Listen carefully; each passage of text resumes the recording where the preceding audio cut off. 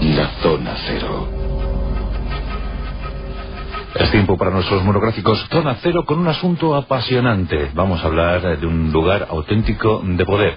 En él eh, moraron unos habitantes eh, muy curiosos con unos cultos eh, ancestrales todavía por, por, explorar, todavía por analizar.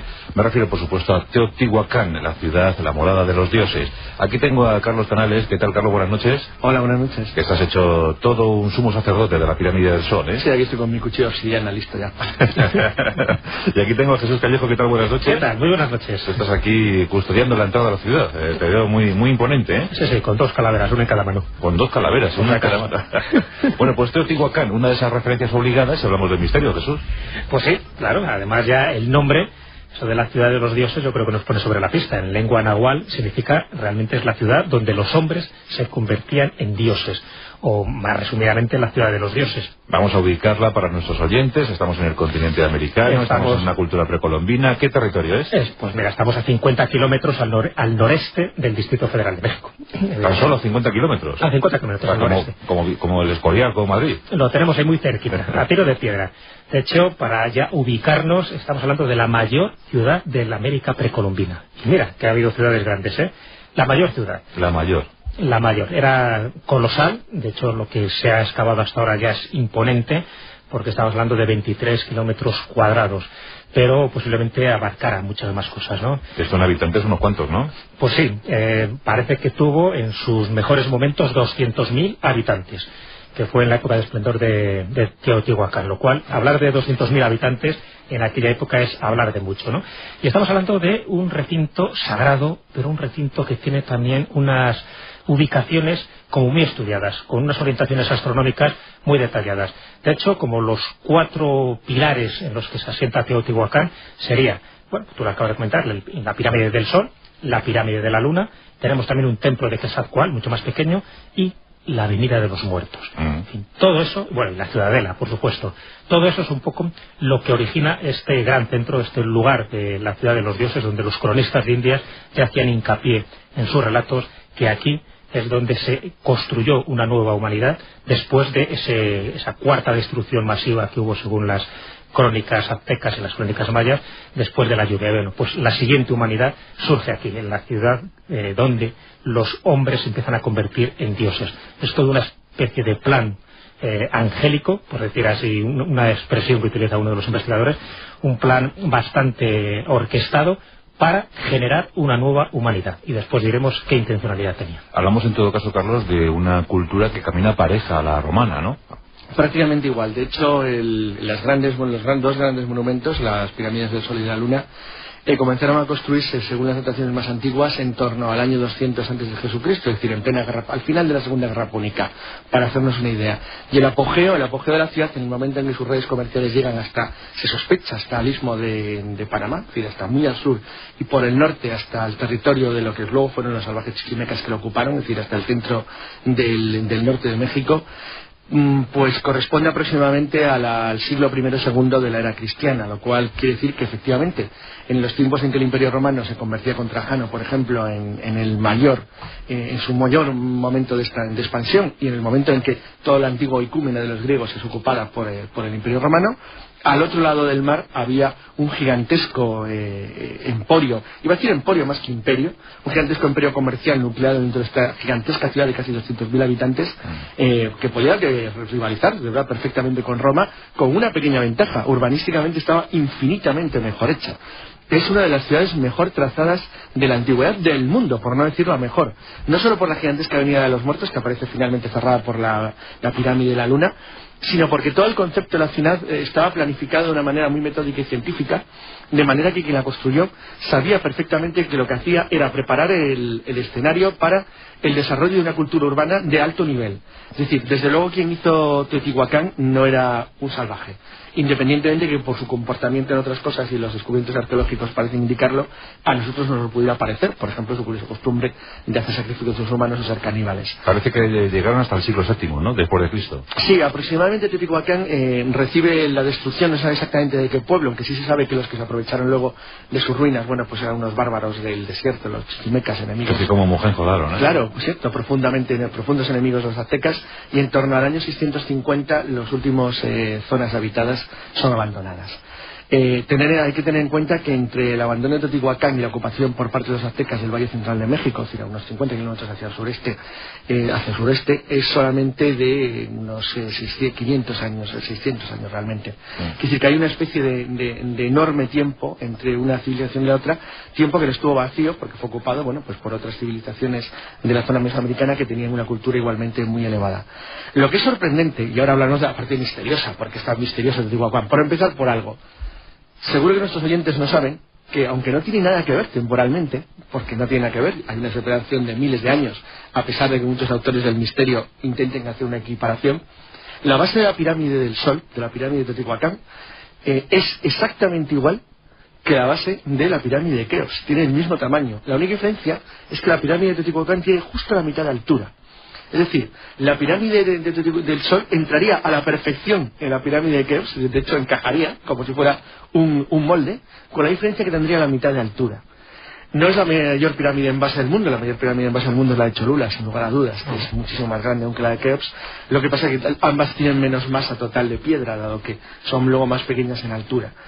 la técnica de construcción de la pirámide de, Teotihuacán es más sencilla que la de Egipto, es un sistema de amontonamiento por escalones que es el que luego se siguió en la pirámide de la luna, es decir, se hicieron las dos de la misma forma, pero ambos, en ambos casos existe algo más que lo que es, es decir, se ve más notoriamente aunque en Egipto un claro plan eh, de una civilización técnica, técnica en el sentido de, bueno, de que era una civilización que tenía unos conocimientos astronómicos, matemáticos y de planificación urbanística elevadísimos. Mm, una ciudad casi perfecta, Jesús, con 200.000 almas, ¿y a qué se dedicaban?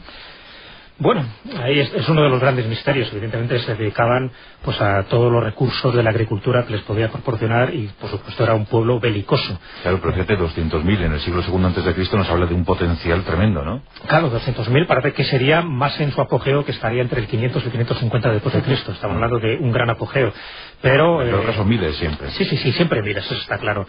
Eh, la dedicación tenía que ser la agricultura y todo lo que era la expansión territorial de, pues de, un gran imperio como era Teotihuacán. No lo olvidemos porque los últimos descubrimientos que se están efectuando en la pirámide de la Luna, dedicada, como no, a la sombra y por lo tanto a ese aspecto negativo ¿no? del ser humano, ahí es donde se hacían sacrificios humanos y ahí se sabe que inmolaban pues a grandes, a muchas de las víctimas que ellos, eh, bueno, pues era fruto de la rapiña, ¿no? De, ese poder expansionista que tenía Teotihuacán.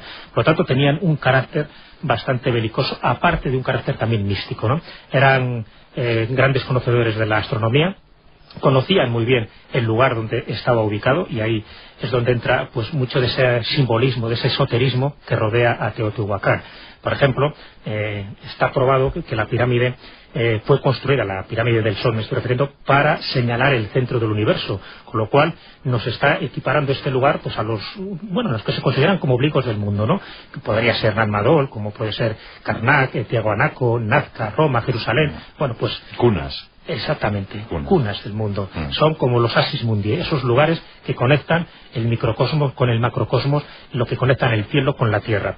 Y bueno, y en principio parece que señalaría el centro del universo y las cuatro esquinas de esta gran pirámide del Sol simbolizarían las cuatro direcciones y la cúspide el corazón de la vida, porque tendría, estaría rematado por una especie de templo al final, por eso esos 70 metros de altura que tiene actualmente no sería realmente los 70 metros que tuvo en su origen, sino que tendría unos 5 o 6 metros más, porque habría un pequeño templo, que eso sería un poco como el corazón, como el corazón de la vida, tal como dicen estas leyendas. Así que estamos hablando de un lugar que todo está hecho con una cierta intencionalidad, incluida la Avenida de los Muertos, algo curiosísimo. La Avenida de los Muertos no guarda relación con los muertos, de hecho el nombre lo ponen los aztecas pensando que los montículos que flanquean eh, alrededor de, esta avenida de los muertos eran túmulos funerarios, ¿no? los aztecas fueron los primeros arqueólogos de la zona. Claro, sí, los aztecas se lo encuentran. Por eso hay un error pensando que los aztecas tenían algo que ver con estas mm. construcciones y no tienen nada que ver. Ni siquiera al principio los toltecas, porque los toltecas, la mayoría de los investigadores piensan que fueron sus constructores. Bueno, pues incluso se remonta algo más atrás. Incluso podrían ser los olmecas. Eso la teoría de Charia Sitchin, que es, bueno, como siempre, muy vanguardista, pero cada vez hay más investigadores que apuntan un poco en esa dirección. Así que esa Avenida de los Muertos, desde un punto de vista simbólico, lo que en realidad comunica es el cielo, que estaría representado por las pirámides del Sol y de la Luna, con la Tierra, que estaría representada por la ciudadela. Así que todo ese sentido cosmológico es lo que está representando Teotihuacán. Sí, quería comentar una cosa muy curiosa referente a, bueno, algunos oyentes seguro que les habrá llamado la atención cuando Jesús al, hacer la introducción ha dicho el templo de Quetzalcóatl. Dice, bueno, ¿cómo el templo de Quetzalcóatl en el año 200 antes de Jesucristo? Pues por eso, porque los nombres los dieron los aztecas. Los españoles los heredan de los aztecas porque cuando los españoles ocupan eh, la zona del Valle Central de México y se adentran hacia el norte avanzando hacia lo que es el territorio chichimeca, que eran los bárbaros, por decir una manera, si lo tendríamos que comparar con el Imperio Romano, los bárbaros estaban más allá de la civilización en el norte, ellos se encuentran lugares que ya eh, están ocupados por gentes de habla náhuatl, es decir, por gentes que hablan el lenguaje de los aztecas, un idioma que por cierto se conserva y muy hablado en México. Eso quiere decir que en realidad nosotros no sabemos cómo se llamaban los lugares y cuál era su nombre original, dado que, aunque los aztecas escribían, realmente no sabemos qué tipo de cultura escrita, si es que tuvo alguna, tuvo la población que ocupó Teotihuacán. Es interesante el Sitchin en, en un aspecto, dentro de su fantasía, a mí me parece excesivamente atrevido, pero...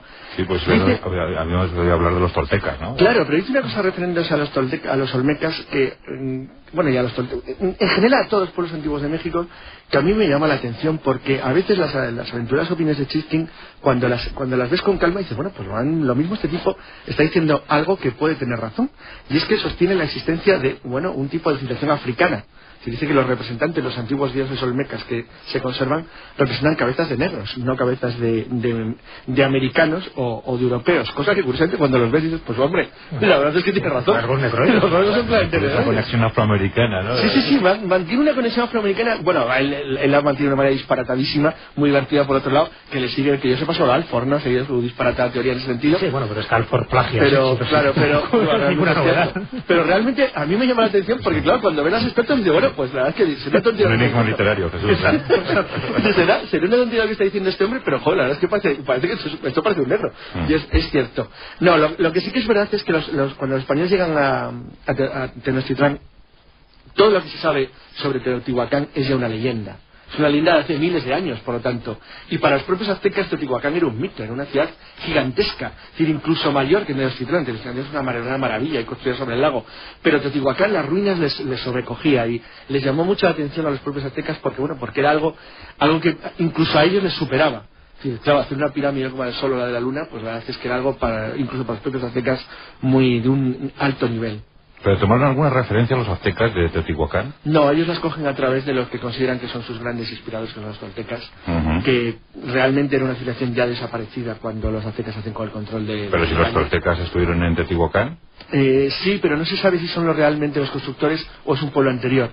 Y realmente todo debe indicar que es un pueblo anterior y al cual no podemos asignar un nombre en concreto, pero lo que pasa es que los toltecas son los grandes creadores de la civilización general de Mesoamérica, es decir, son los que transmiten a todos lados y que los que recogen la herencia maya principalmente. Mm. Es una cuestión de cronología, claro, claro, claro, del 200 antes de Cristo tiene que ser los toltecas. Pero, pero, probablemente anteriores tienen que ser los olmecas, claro. Claro, pero podría ser, realmente los arqueólogos no se ponen de acuerdo, oficialmente en cualquier guía. Oficialmente se atribuye a los toltecas, claro, ¿no? exactamente. Pero porque la mayoría que fijárselo a alguien, es que no, pero porque no tienen más remedio, pero yo sigo pensando que no está tan clara la afiliación tolteca no, sería anterior, eso claro. O sea que a lo mejor no tanto como dice Sitchin. No, claro, él lo ubica en, el año 1400 antes de Cristo. Ahí se, remonta muchísimo más, ¿no? Estamos casi hablando de la época de Troya, ¿eh? Claro. Igual, lo cual quiere decir que en esa época ya había civilización en Mesoamérica y había pirámides, ¿eh? Mm. Claro, pero aquí lo bueno es un poco recoger esas leyendas, que es lo que se encontraron realmente los cronistas Indias cuando llegan allí, ¿no? Y los pocos que les podía decir estas cosas son los aztecas, a pesar de que ellos ya se lo habían encontrado hecho. Lo que llama la atención también es que, se siguen descubriendo cosas, como recientemente ya comentamos en, el programa, que se, eh, se confirmaban oficialmente ya los sacrificios humanos, ¿no? En, Teotihuacán. Totalmente, además. Hemos tenido que esperar al siglo XXI para que se confirmara oficialmente. Algo que ya se sabía, por eso digo que si realmente hiciéramos caso a las leyendas, ahí nos estaban suministrando una cantidad de información mm. que ya nos decían que la de la Luna en concreto, precisamente era el lugar donde se hacían estos sacrificios humanos, donde se habían encontrado túneles subterráneos, en fin, cavernas siempre con un carácter iniciático, pero también muy ritual y muy eh, encaminado ¿no? a lo que es lo funerario. Sin embargo, la del Sol es todo lo contrario, precisamente ahí se hacían otro tipo de sacrificios más orientados a la vida. ¿no? Por eso, esa cosmovisión que tiene Teotihuacán tan fascinante para todos. ¿Y cómo es la ciudadela? Bueno, la ciudadela es esa eh, parte que representa la, tierra, por decirlo así, ¿no? O sea, mm, diferenciándolo de lo que es el cielo, como decíamos que era la pirámide de la luna y la pirámide del sol. Bueno, pues eh, cuando hablamos de esta avenida de los muertos, que tiene actualmente eh, kilómetro y medio de longitud. Digo actualmente porque parece ser que llegó a tener 8 kilómetros, o sea, estamos hablando de algo importantísimo. Bueno, pues eh, esta Avenida de los Muertos, que tiene 45 metros de ancho, es la que atraviesa la Ciudadela. La Ciudadela es un gran recinto cuadrado de 640 metros de lado y en el lado oriental de esta ciudadela es donde se alza el templo de Quetzalcoatl, que es una pirámide escalonada de seis plantas, posterior en tiempo a la pirámide de la Luna y del Sol, pero que guarda una similitud curiosa, hasta el punto de que, bueno, y hay bastantes investigadores que han intentado hacer orientaciones astronómicas, al igual que han hecho con la meseta de Giselle, con las tres pirámides, pues algo, han hecho con estas pirámides también de la Luna, del Sol y la de Quetzalcoatl. Desde mi punto de vista, bueno, pues son estimaciones como muy, muy sacadas de contexto, ¿no? Porque intentar buscar orientaciones con las Pléyades y cosas así, ¿no? Pero claro, teniendo en cuenta que no son de la misma época las tres pirámides, pues cualquier similitud que queramos hacer, en principio encaja, depende de la constelación que tengamos, tomemos por referencia, ¿no? por preguntar algo, ¿qué dijo Daniken de...? bueno, Daniken dijo bueno, que los extraterrestres. claro, que a decir. ¿Os extraña? Qué fijación, ¿eh? Sí, una verdadera obsesión ya se pasaba. Pero bueno, fíjate lo que os decía, si hacemos caso a las leyendas, una leyenda nos da un poco también esa pista de lo cosmológico que tenía este, este enclave. ¿no? El Juan de Torquemada, por ejemplo, recoge tradiciones nahuales, donde se dice que el dios, eh, el rey dios, que es actual, dio las instrucciones precisas para edificar este complejo piramidal de Teotihuacán, cuya función simbólica, ya lo especifican estas leyendas, parecía ser la de convertir a los hombres en dioses y la de marcar, ojo, el movimiento de las Pléyades. Esto es importante. Muy importante. ¿Por qué? Este era un proceso que era controlado por unos misteriosos compañeros de Quetzalcoatl, como así se refieren estas viejas tradiciones, que eh, en el fondo eran los que conocían los secretos del universo. Entonces, para que se recordara exactamente de dónde procedían sus dioses y para que tuvieran siempre esa conexión cósmica y divina, es por lo que se creó esta ciudad de los dioses, Teotihuacán. Y por eso, algunos investigadores piensan que las Pléyades tienen mucho que ver con este, estas orientaciones en función de este eje que marca bueno, pues la Avenida de los Muertos. Eso, bueno, la orientación de las Pléyades además luego es una tradición en otras zonas de, la América Central y de Mesoamérica en general. La causa no se sabe. Sí se, conoce el calendario azteca y la obsesión de los aztecas por el, por el movimiento de precesión y por el, ritmo de los 52 años cada 52 años teóricamente el mundo comenzaba de nuevo, es decir, bueno, había una especie de renovación general. Es, muy posible, es muy posible que los fundamentos de la, religión de los aztecas sí tuvieran su origen en civilizaciones más antiguas del ámbito de América, de la misma zona en la que luego ellos se asentaron al venir desde el norte. ¿Por qué? Pues por una razón. Sí, porque prácticamente ocurre igual en todos los del mundo. Sí, las religiones son mucho más largas en el tiempo que las civilizaciones, e incluso, aunque formen parte de su núcleo y su esencia, son sustituidas por eh, formas de gobierno, por reinos o por pueblos distintos, y sin embargo la religión sí la mantienen como lío de continuidad. Eh, si nosotros dijéramos ahora cuál es la institución más antigua de todas que hay en España, pues sin duda alguna es la Iglesia Católica. Tiene dos mil años. ¿Y qué, pasó con los supervivientes de Teotihuacán? No lo sabemos. Lo único que sabemos es que hubo violencia y destrucción. Es decir, en torno al año 650 la, ciudad fue destruida de una manera violenta. También les habrá llamado también la atención a los oyentes o los que sean aficionados a la historia de América Central y de México, que en general el sistema de fortificación de las ciudades americanas se alejaba mucho a lo que era común en la isla del mundo, es decir, en, Asia o en Europa. ¿Por qué? Pues porque la guerra tenía una enorme manera, forma ritual, un componente ritual muy, muy intenso, de manera que la forma del planteamiento de, los combates era otro, dado que el objetivo principal era el obtener gente para comerla, para proteínas.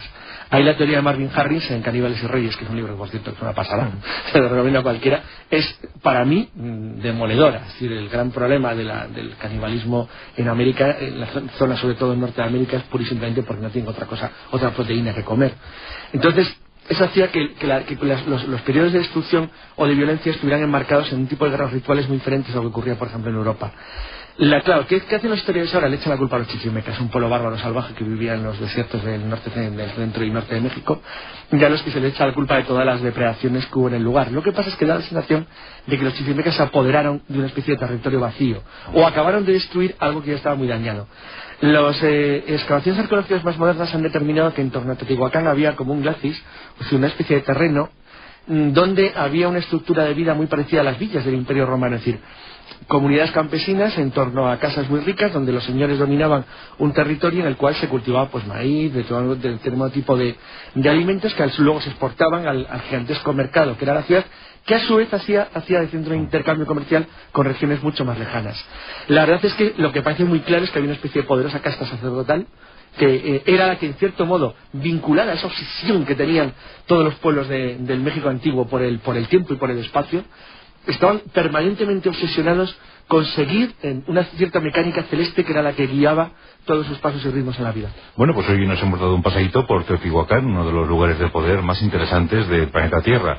A escasos 50 kilómetros de, México, Distrito Federal, se encuentra este enclave de 23 kilómetros cuadrados por el momento, que se sigue cavando, se sigue investigando y seguro, seguro que habrá muchas más sorpresas que comentaremos en sucesivos programas. Bueno, pues por Teotihuacán hemos estado. Gracias, Jesús Callejo. De nada. Ahí te vas eh, vestido de sumo sacerdote. Qué maravilla, qué guapo es Jesús, ¿eh? Cuando se viste sumo sacerdote está en plenitud. y, tú, Carlos, pues... ese, ese, hueso que le traes a la nariz. Y, y, tú te vas ahora directo a la pirámide de la luna, Carlos. Sí, sí, mira mi corazón aquí palpitando todavía.